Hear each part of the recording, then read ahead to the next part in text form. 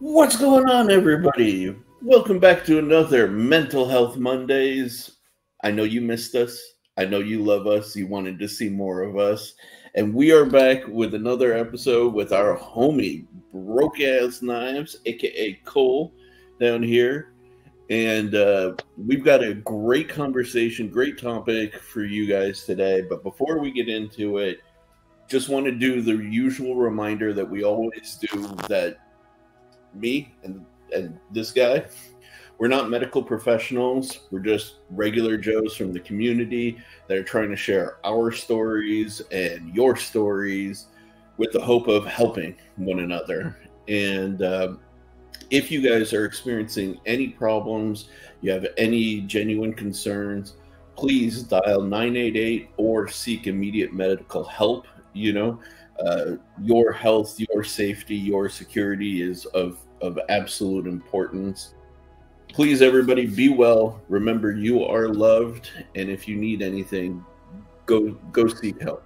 Go seek help. So, this side, yes, Maddie, how you doing today? Cole, how you doing today? I'm good. I've had a very excellent day today. Yeah. Yeah, not bad here. Still waking up, so That's I'm a little tired, but I'll I'll deal. I just want to start off the bat. Cole was our very first guest, and for him to be here, camera on at his face, uh, I got to give him that because claps. Yes. he's a lot like me, very anxious. We chatted for a good while before recording, but he's here. He's doing it. I'm proud of you, Cole. Big love. Big love for Cole. I don't know if I can make me blush. Even for you. I'm just throwing up gang signs. so. I don't. Mine's broken. there you But- go. We're joking now, but today's topic is actually quite heavy. Uh, I don't know if you saw his under his name, uh, alcoholic. So we're going to be talking about alcoholism and uh, Cole's journey. Uh, I haven't heard this story yet. I'm very excited, but I myself don't drink, but I've been on the other end of it. My uh, one of my my dad was a heavy, heavy drinker. Oof. Caused him to miss like everything of my life. So I mean, it's a thing that affects a lot of people, not just the person involved. And so I can't wait to hear uh, what Cole has to say and his success story. So Cole, the floor is yours. Okay. Um. Well, last time I was on here, I talked about, you know, my anxiety and depression and how that kind of pretty much led up to uh, my alcoholism. I mean, that's partially, uh, you know, genetic because it runs in my family, but having those uh, other factors didn't didn't really help me avoid it much. Um, so I guess today I'll talk more about uh, coming through the other side of it. Um, basically, when it all came to a head was when I went to the hospital and I was basically told, "Hey, you're gonna die probably within the year if you don't stop drinking." Oof. So, uh, I mean, at that point, you know, with my anxiety, I already thought I was dying. So, uh, that just felt like confirmation, but it really solidified everything and, you know, the I don't even I, I still don't even know if I could have done it if it wasn't for some of the the the treatment that I got while I was there. Mhm. And this is something pretty much anyone can get if they if they need it. But they have medication that helps a lot with the detox. Mm. Um, it also helps. Well, it it helps a lot with the anxiety from detox too, Yeah. because you know, um, while alcohol does help with anxiety while you're drinking it, the next day it makes it a lot worse. hmm And detoxing is even worse than that. Um, you pretty much go into panic attacks constantly for, you know, the vast majority of the worst parts of it. Um, but brutal. the medication they gave they they gave me helped a lot. Uh, but the main reason for the medication is so you don't uh, you don't go into like cardiac arrest from it. Um, Mhm. or whatever other issues. Um, I'm not the most medically knowledgeable, but um, that that was one of the I think biggest factors was getting that initial help because if I wouldn't have done that, I it would have been pretty impossible on my own. I just didn't have the uh, mental capacity and fortitude to do it. Um, but it's something available, so Mhm. people people need to know about that a little bit more because Yeah. a lot of times people try and attempt this on their own, and if they've, you know, been a been a heavy drinker for a long time, like you can actually uh, have have medical issues from coming off of it. I didn't Um, even realize that to- like heart attack was on the table on the detox. Like that's crazy. Yeah. I had no idea. This is new to me. So Yeah. Mo- most people probably aren't to that to that level, but I mean, even still, when you're when you're detoxing from it, it it, it starts to feel almost impossible Mm. without without that help. So it's it's a lot like uh, you know people uh, getting off of heroin and needing methadone or something. Mhm. It's not uh it's not uncommon or anything. Wow. It's just not very well known. Mhm. Um a lot of people think, you know, you just need to stop drinking, but it doesn't always work that way.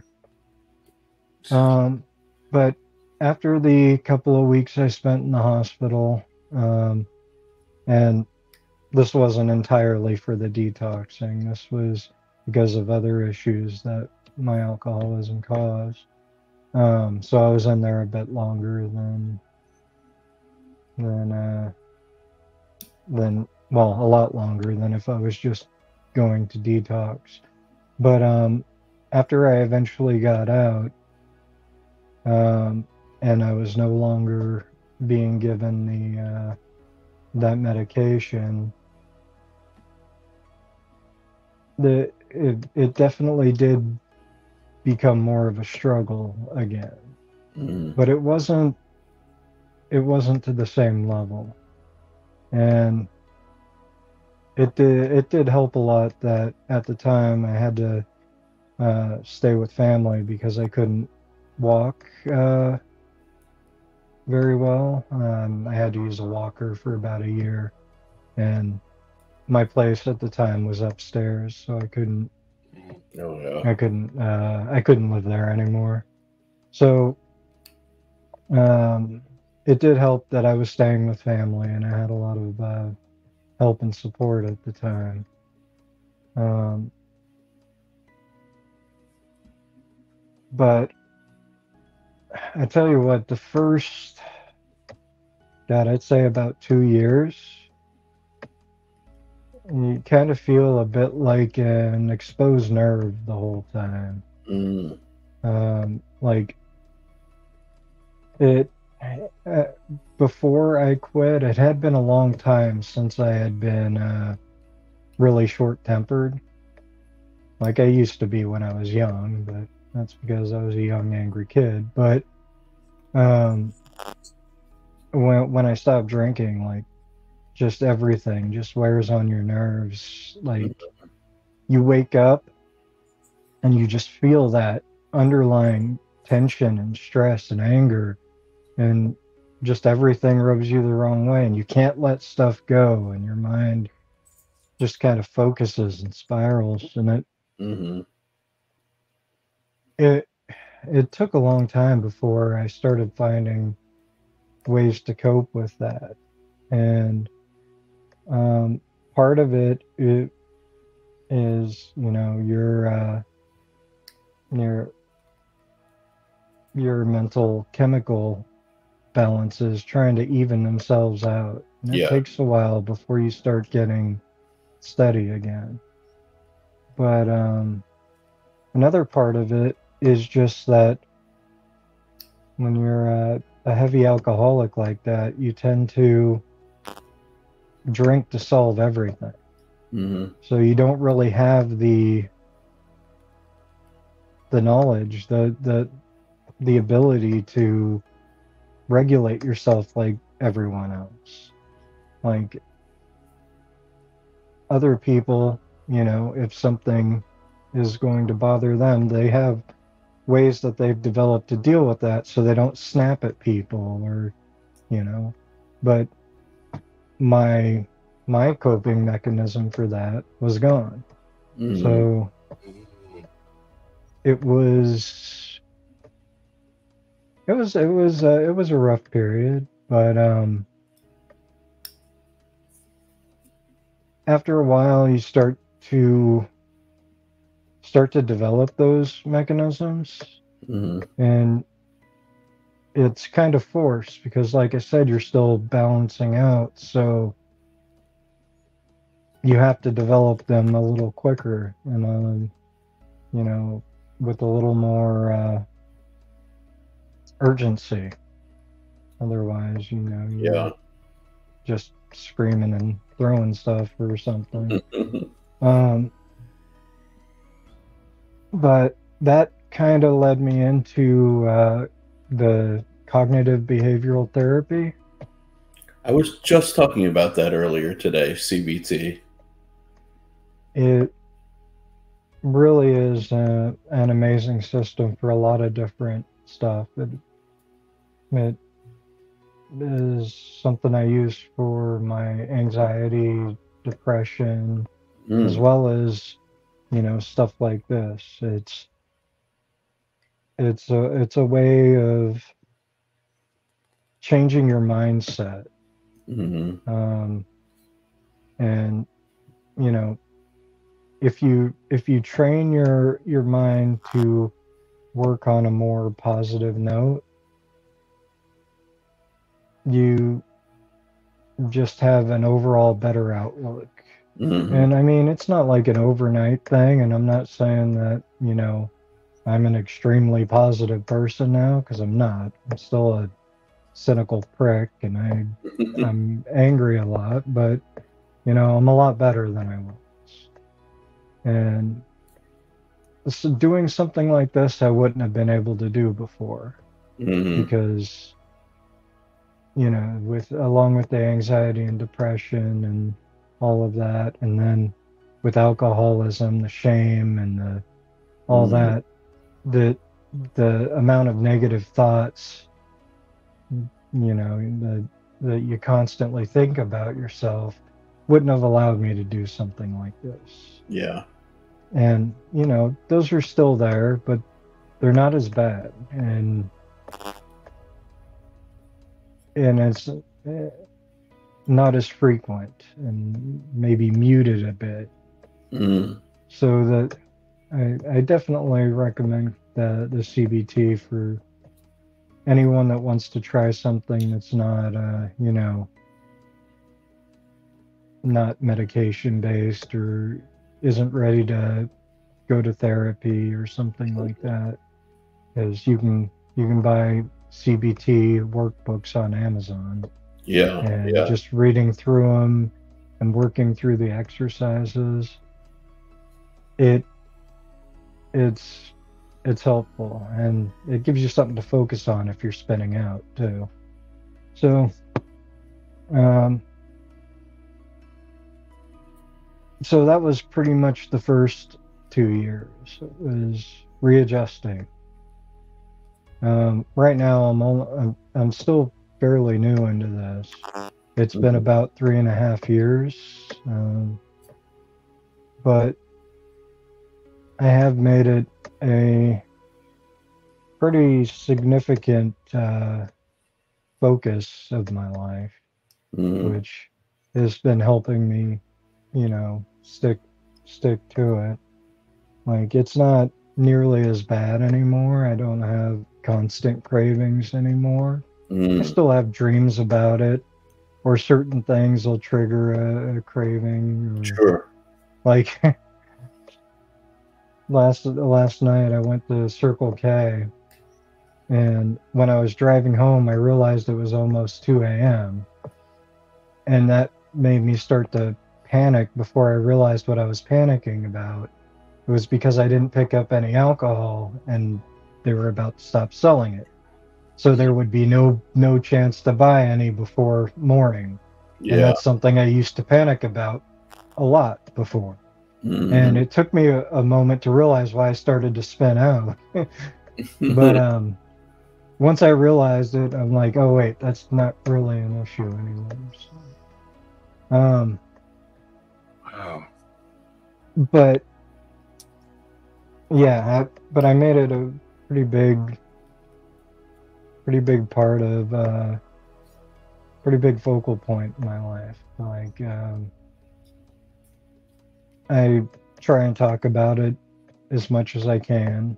Mhm. Um, and as selfish as it is, it's mostly for myself because it helps me to talk about it.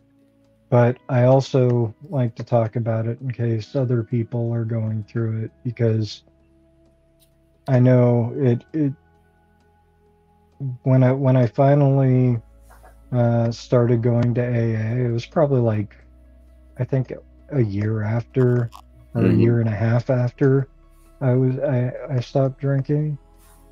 Um, it I it didn't occur to me how much it would help to listen to other people that have had similar Mhm. experiences, like because I figured I already knew I already know I already know other people have this, but just hearing people talk about it and in the kind of that kind of setting where it is normalized and there's pretty much aside from maybe brand new people that aren't used to it there's no one that that's showing any kind of you know serious like uh shame about who who they used to be Mhm. because that it's something they're they're working through and getting and trying to be more positive or you know trying to be better going forward Yeah. like it it definitely helps to change the way you you see the whole experience because and it it makes you feel less alone too. Because it's something that you know because it's somewhat uh, self-inflicted there's a lot of shame and guilt that you feel. Mhm. because like even if it even if you, it hasn't horribly affected someone else like me i was mostly because of the alcoholism and the anxiety and the depression all at once i was basically a shut-in by the time i stopped drinking Mhm. so I wasn't like drinking and driving. I didn't have some of the same regrets that some of the other people did, but there's still a lot of shame and guilt that you feel anyway. Mhm. Like because it's some of it's uh, stigma that you internalize, some of it's just regret, like deep regret. Like if I hadn't have been like this, things could have been, but that's just a mindset that you have to get out of. Mm-hmm. Um, and that uh, the the group talks definitely help with that a lot. Sorry, I, I, I forget what point I was trying to make. I was rambling a bit there. For I a apologize. Yeah, don't Um, You've made a few good points already. Like, keep going. Um, well, I I guess uh, since I I completely um completely lost at what my point was, I'll uh, I'll talk about what we were talking about earlier, and the from a outside perspective, listening to people talk about this kind of things in the meetings Mm-hmm. um, not having the same experiences, uh, but having the same uh, like root cause. Um, there is kind of a you have you have some kind of um, uh, connection to it while Mhm. being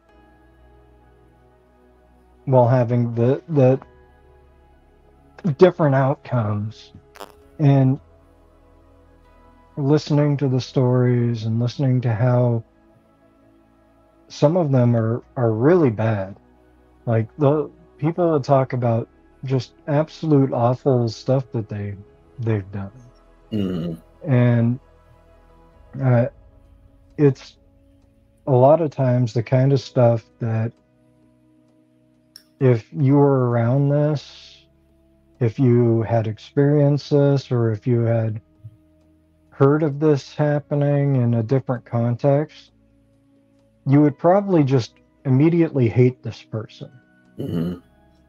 but knowing what the cause is and seeing the work they've done to change and the stuff that they've done to try and make up for it and seeing um like sometimes this is 10 20 years after they're getting sober that you're hearing about this Mhm.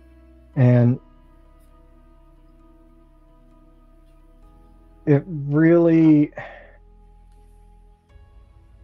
it really gives you a different perspective on it i wouldn't say i'm not going to say anything like redemption or anything like that Mhm. there's nothing so cut and dry it's just people trying to live with stuff that they've done because of this thing that they had Mhm. like alcoholism yes self-inflicted but it is something that is outside of your control It's a disease, you know, at the end of the day.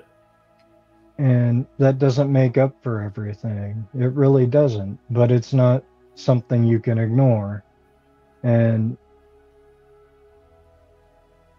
it's definitely something that you kind of change your opinion on every time you hear a story Mhm. um, but it puts a, a lot of stuff into perspective. If you uh, if you are someone that has done something that you think is totally uh, just egregious, I mean, hearing some of these other stories might give you hope that you can be a better person. You know. Mhm. Um, all in all, taking such a, a such negative uh, experiences and turning them into something positive is pretty incredible for me. Seeing that anyway. Mhm. Um, but yeah, so oh, I remember now. Uh, yeah, so I've pretty much made this a big part of who I am now. Like, I'll, I'll talk about it pretty much at any point. If anyone wants to ask me about it, or I'll just randomly tell people, oh, yeah, no, I'm an alcoholic. Mm. Like, I don't mind saying that anymore. I think it, I, I view it more as a healthy thing now Mhm. to be open about that. Um, I display my sobriety coins on my shelf. I have a tattoo right here with my sobriety date. Nice. Um, like, I've definitely made it a big part of who I am now. Um, uh, so yeah, right now I'm at about the three and a half year mark into my sobriety. Um, and I can't say that I'm feeling better than ever because I have, you know, other issues that I caused through my alcoholism with my uh, neuropathy and everything. But I'm definitely more clear headed and probably more positive on myself than I've been since I was a kid, you know? That's good. Yeah. All in all, I think mental health wise, it's a, been a major plus. That's Um, awesome. I'm not I'm not running from myself anymore, Mm. which is you know something I was constantly doing. Trying to shut my my head down. Mm-hmm. Um, so that's that's pretty much the uh, course of events. Um, I'm glossing over a lot of it because most of it's quite boring. but um, do you guys have any questions? I have Go for two.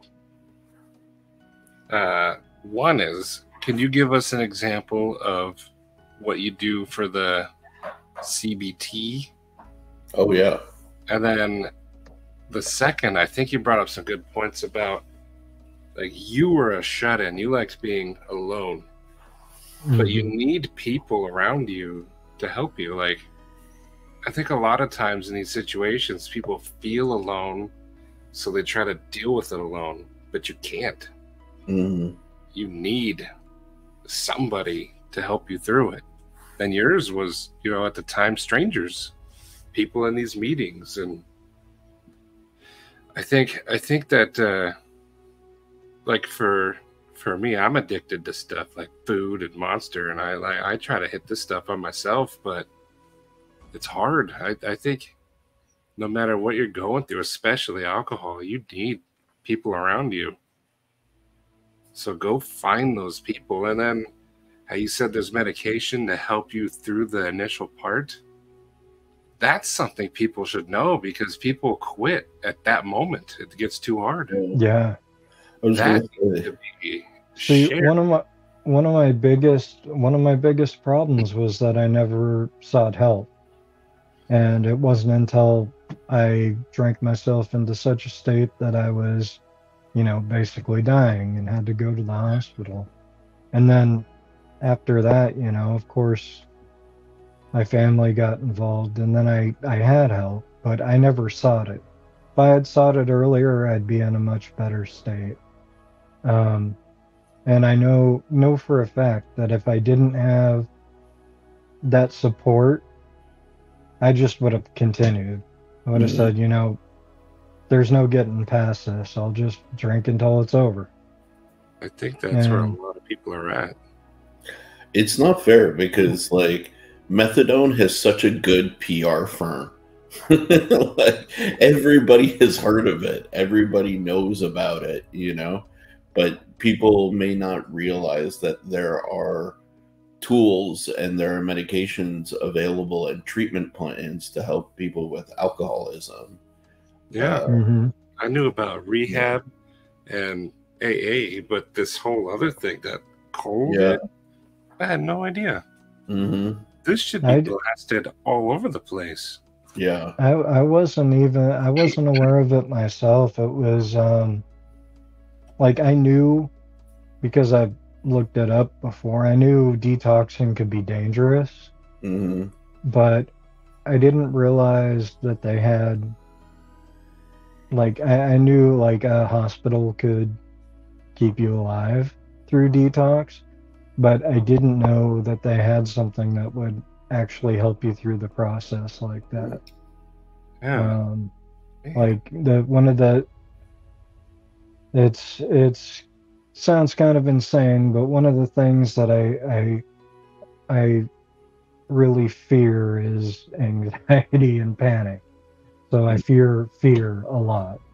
Um and you know the thought of how long i would be having panic attacks through detox was something that always stopped me No, that's a um, legit. and I didn't realize that there was something that could help so much with that. Yeah. No, that's a legit concern because think about it, it it becomes a a concern for quality of life, right? Like it's you don't want to be sitting there perpetually feeling terrified and having for the people who haven't experienced that like high level of panic and anxiety, it's like you perpetually feel like you're dying, like the next thing is fucking horrible, you know, like it, it's not like just oh i don't want to take this test or oh i'm nervous about this. It's it's a full body experience of just abject terror you know so feeling that kind of thing perpetually for a long period of time is you don't want it you don't want that i can understand being concerned and, uh, about dealing with that for a prolonged period of time you know Nobody likes to be uncomfortable. yeah So back back to your question um, with the CBT. Uh, one of my favorite things that I've found to be the most helpful is really simple, and you can do it. You're meant to do it all the time. Like it's, it's just mental. Like you're, you just have to pay attention, and when you when you notice yourself being negative towards yourself like like say you go out and you're thinking oh these people are staring at me they think i'm a fat piece of shit um because you know your brain's going to constantly tell you horrible things about yourself you you just stop yourself from thinking that and redirect your mind to something positive or something even neutral. Mhm. And it's not natural, it doesn't feel right because that's not how you think. But if you interrupt yourself and redirect your mind like that, um, every time you can, like it starts to become a pattern and a habit Mhm. and you can retrain your brain to some extent to be less negative about yourself. Um, and I was extremely skeptical about that when I started it, but I had nothing else to do. I was, you know, barely mobile at the time and in a very, very negative state myself. Um, so I, I figured there, there wasn't any point in not trying it. Mhm. Um, and yeah, it, it's definitely one of the more one of the one of the easiest things that you can do that will have a noticeable positive impact. Oh yeah, absolutely. So here's a question, and you don't have to answer it if it's too personal. But like, if you're feeling those thoughts, what is like something you think about to get you out of that? And you don't have to answer it, but it maybe Uh, it gives somebody an idea of like what to think. Well, one of the one of the first things I did, um, because I'm I'm really not good at thinking overly positive like that. So initially, I I went for neutral because it was something I could pull off.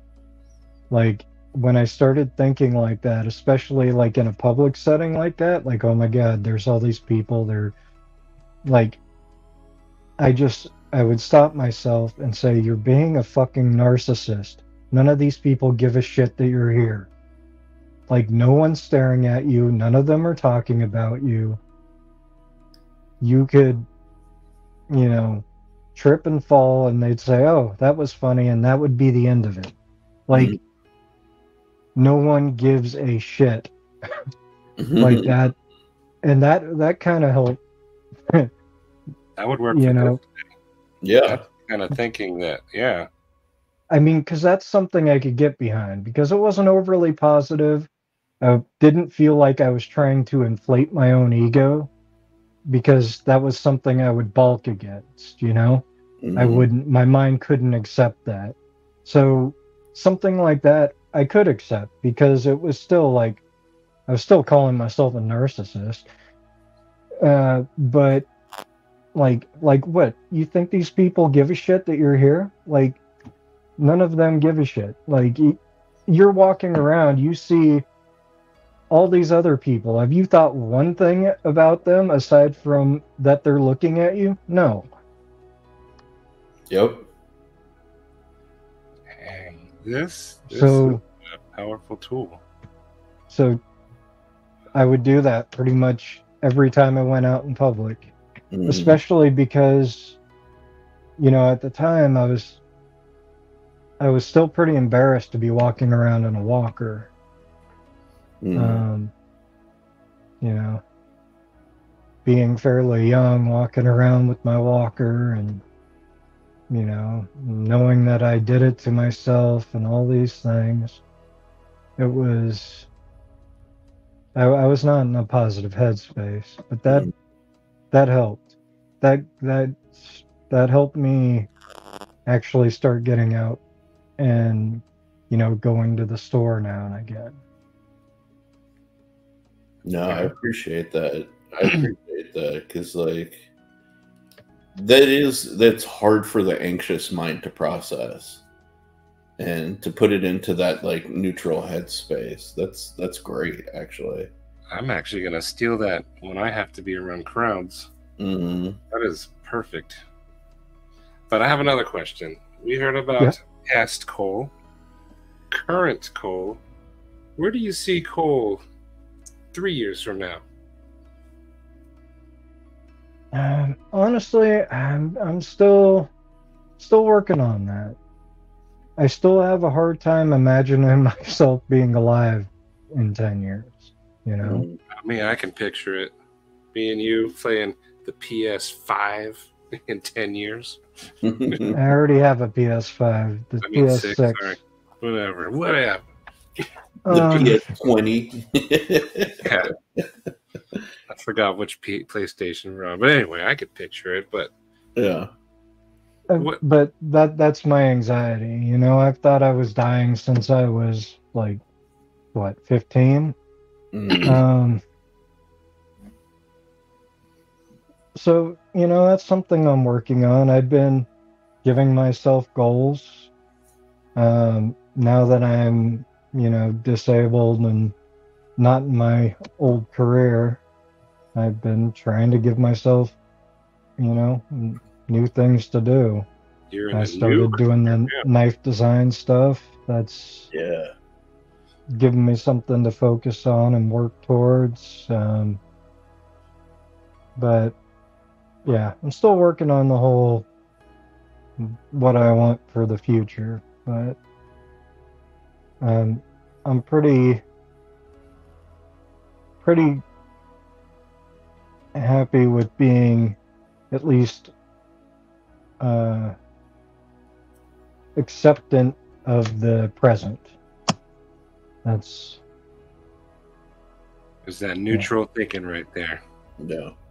Well, I for one am glad you're here. This you have a a story, like, and you brought up a lot of good points that I hadn't considered. Yeah. For those of you guys also who don't know, uh, Cole is immensely funny. Oh, he's yeah. a he's a very good friend, incredibly witty, you know. So I I second what Maddie was saying. I'm very glad you're here, man.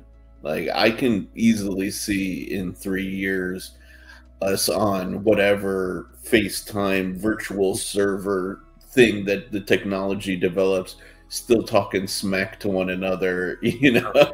Like- He's got 15 knife designs under his belt, exactly. three Nobel Peace Prizes. Sharif's working for Benchmade.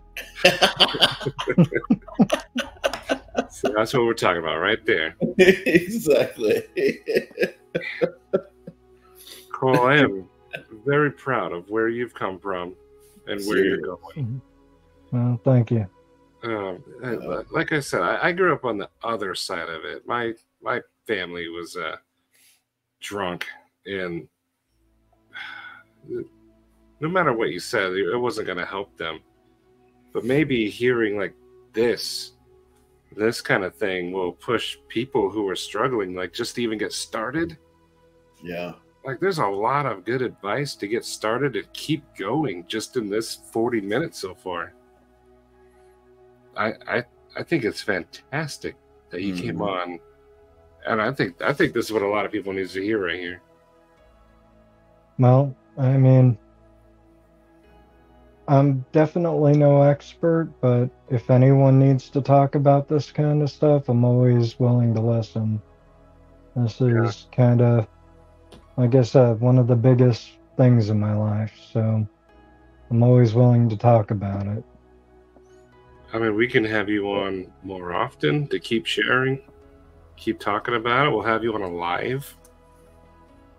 Whatever you want to do. I want to spread this uh, this message you got. Yeah. especially the beginning stages where people tend to quit because it gets really hard. That's important stuff to know right there. hmm Yeah, I mean, both of us, again, the the the treatment options, the medication options. That's news to us, you know. And like, I'm a hundred percent sure that there's somebody out there who's watching this, at least one who's like, "Oh, I didn't even know that existed."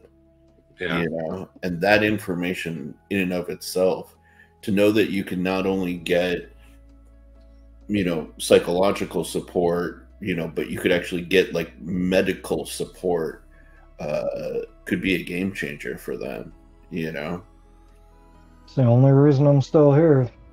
yeah And I know there's a stigma about medication still, but there's nothing wrong with taking it and getting help with it. especially if it's going to save your life Yeah. I mean, Yeah. if Cole hadn't have done it, he'd have a sad family. We never would have met you. hmm There'd be this uh, hole that we never knew would have been filled. yeah But now we have Cole, and we want to keep Cole. exactly We want to cuddle Cole. Even Getting a little possessive there, Maddie. in my pocket. I, I want to I mean, size difference wise, I might fit. You're a giant.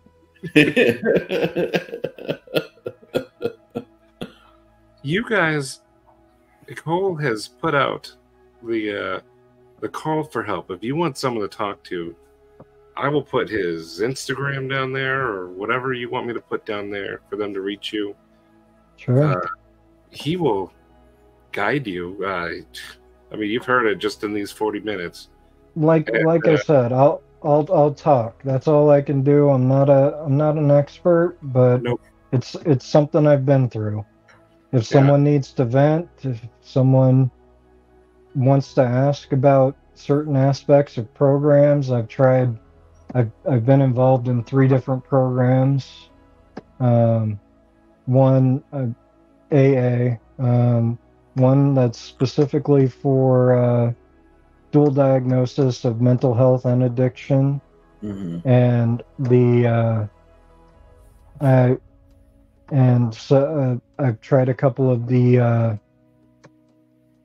the non-religious uh, uh, programs as well. So like I can give my thoughts on all of that if if people are- just have questions or just want to talk about it.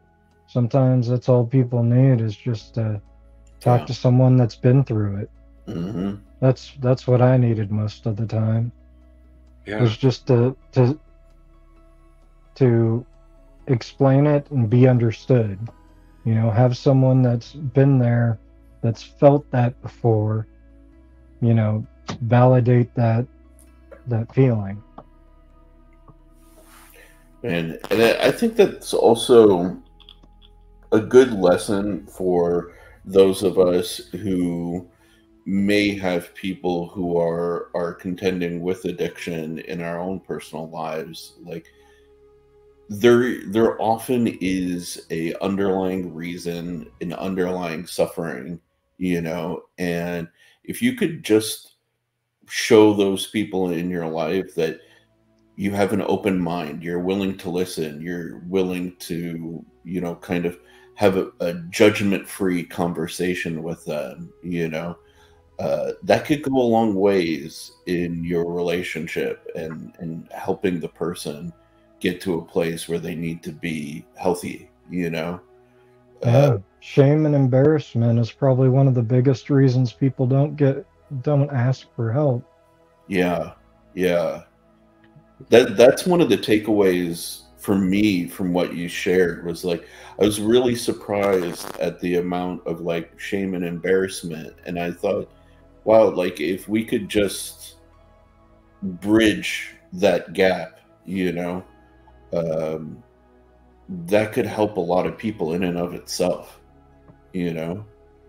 So just just a takeaway for for me you know like judgment free conversations they they don't cost you anything you No. know but letting a person know that you're there to listen there to to lend an ear you know um yeah it could go a long way just my thought No, I agree.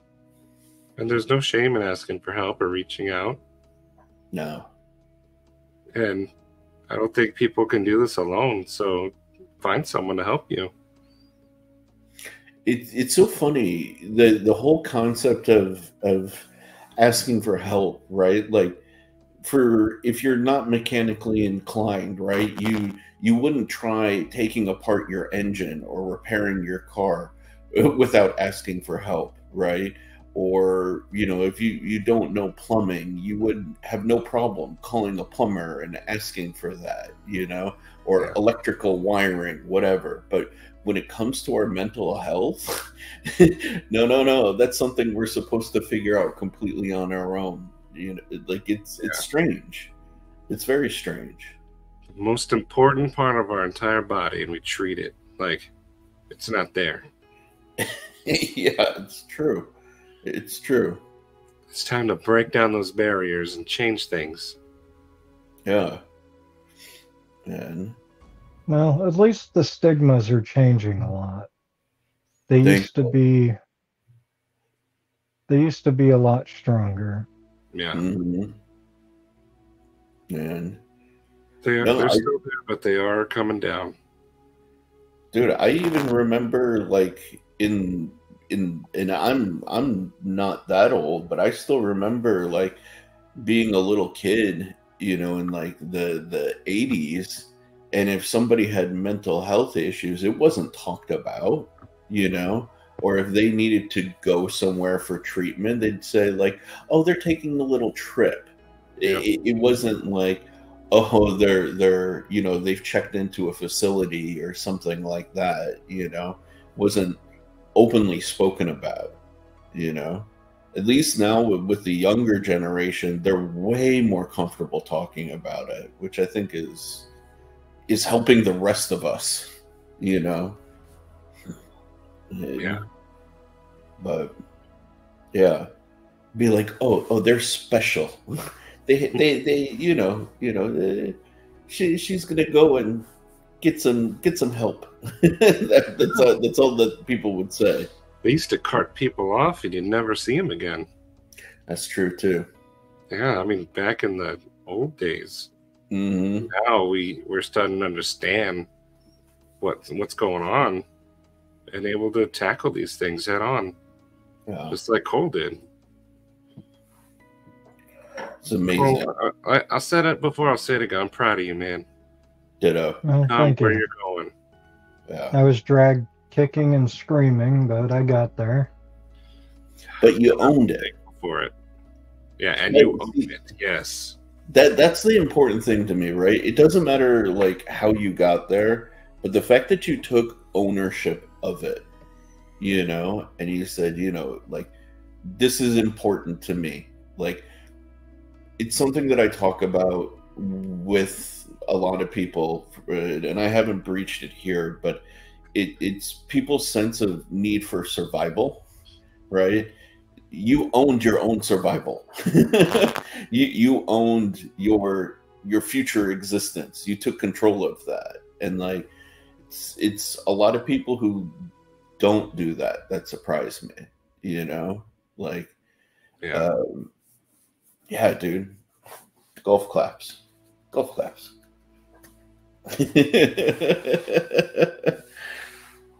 well, cool. I think we're uh, winding this down. Do you have any closing thoughts or anything? And you don't have Not to have. especially. Yeah, that's fine if you don't. I I thank you for coming on. This has been an yeah. like eye-opening, excellent uh, episode, I guess. Whatever you want to call this show episode, I don't know, whatever. But this this has been. Uh, I think a lot of people are gonna look at this, and I'm hoping a lot of people will immediately be like, "Cole, let's chat." Yeah, dude. I, I I'll reiterate something. Just really proud of you for doing the work. Thank you for doing the work because now I have you in my life, and that that that is genuinely something that I I value. You know, so Yeah. Our little Discord chats are some of my favorite moments. quite literally, they they've been like highlights of my last year. You know, so um, yeah, thank you, dude. Keep up the good work. Keep up the damn good work. Oh, I'm doing it. Yeah. I can't do it. I'm I'm blushing. I don't know. However, ditto for what he did. All right, Sharif, you want to wind us out? yes, absolutely. Thank you again, everybody, for tuning in to another awesome Mental Health Mondays. We hope that you found the messages and the conversation today valuable to every single one of you. I feel like no matter where you are, what you're dealing with, there was something to be taken away from today's conversation. So we hope it was of value to you, you know? Remember, please, again, we are not medical professionals. We are just regular Joes from the community sharing our stories. And uh, really, if you guys are struggling, if you need some help, reach out to somebody. If you feel it's a little bit more serious, dial 988 or seek immediate mental or, or seek immediate medical help. Uh, there are resources out there for you, so please use them. Please be well. Please remember that you're loved, and we will catch you in the next one. Peace.